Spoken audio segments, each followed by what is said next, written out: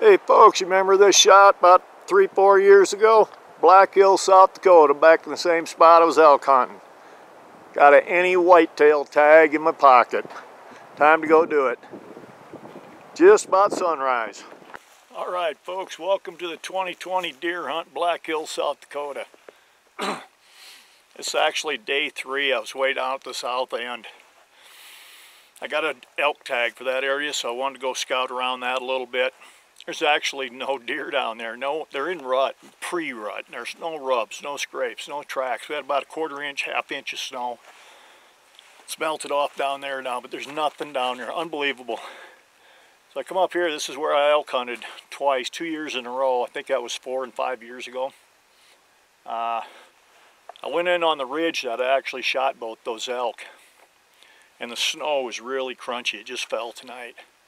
So I thought, well, I'll drive around and get my bearings straight with the roads, how everything runs, and uh, I come up to this ridge. Every time I walked it, I kicked deer off it, I kicked elk off it. So that's my game plan. I get up here, and what do I find?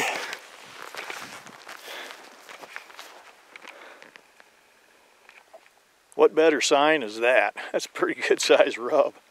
That's about a three inch tree. Anyway, up the hill we go. Hang on.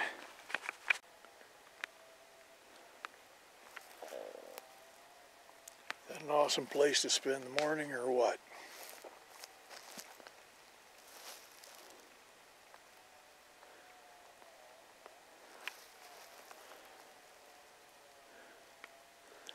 Got some timber cutting a couple miles east of here.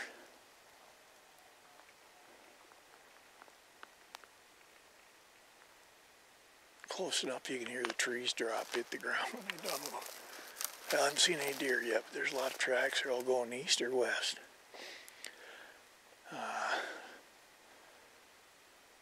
but we're hoping. Another calling card for one of the guys I'm looking for. That's from about two foot off the ground, four foot off the ground. That is a big buck doing that damage. Not an elk, that's a whitetail. I just love to run into him. Yeah, oh, there's a big one. That's definitely elk. There's busted branches, at least a foot and a half over my head yet.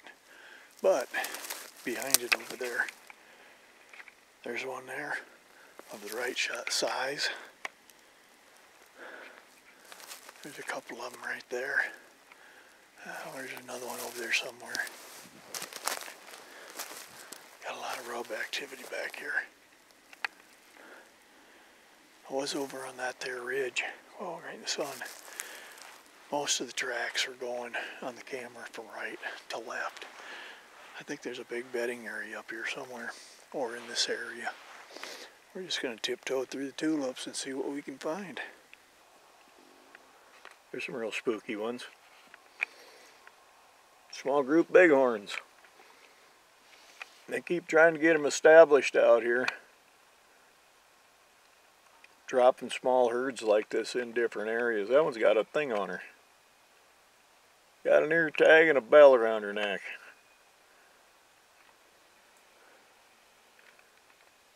They keep trying to get them reestablished. Or established, not reestablished. I don't think they were here. Well, I got two walks in up here today. I did this ridge here, two ridges south. I did both of them. I'm gonna do the one in the middle. There's deer moving. Out here where the sun hit, melted the snow, it's real quiet. You get up there, there's snow, squeak, squeak, crunch, crunch. Then the debris on the ground. Not very good stalking conditions. Uh, time, a knee that's not telling me, talking to me the way I like it to talk to me. And uh, the fact I got no meat in the freezer at home outside of some walleyes, some catfish, and some grouse. It's decision making time. If I get a doe, I'm gonna kill her.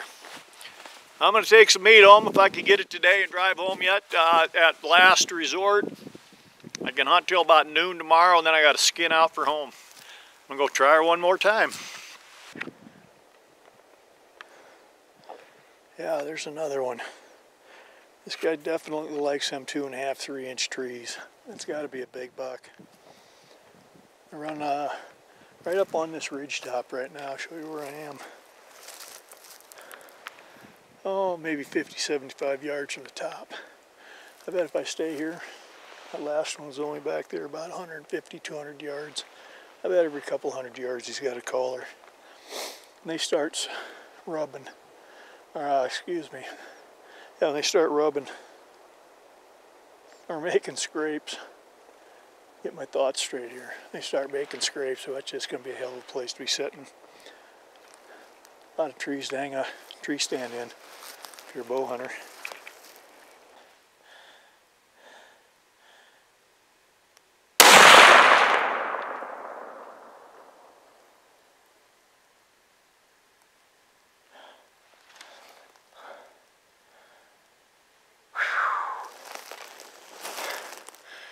That's a short 255 yards up that hill.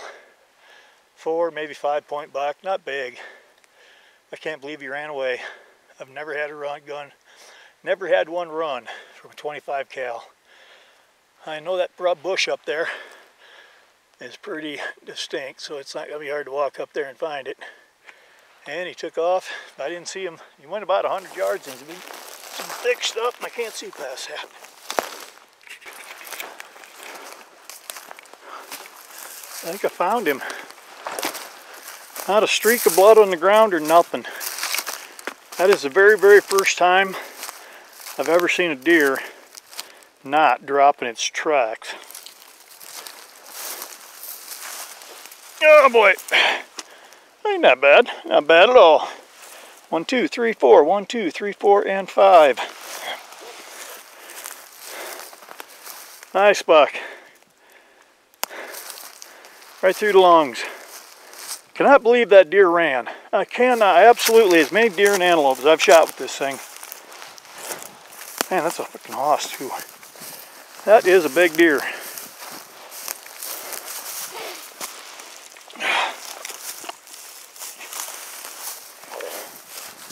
That is a big buck. Well, folks, way down there at the bottom of that hill, 255 yards up. I got two hours to get him skinned, boned. I'm gonna head to the truck. Gonna be a good one. Got a lot of good eating meat there.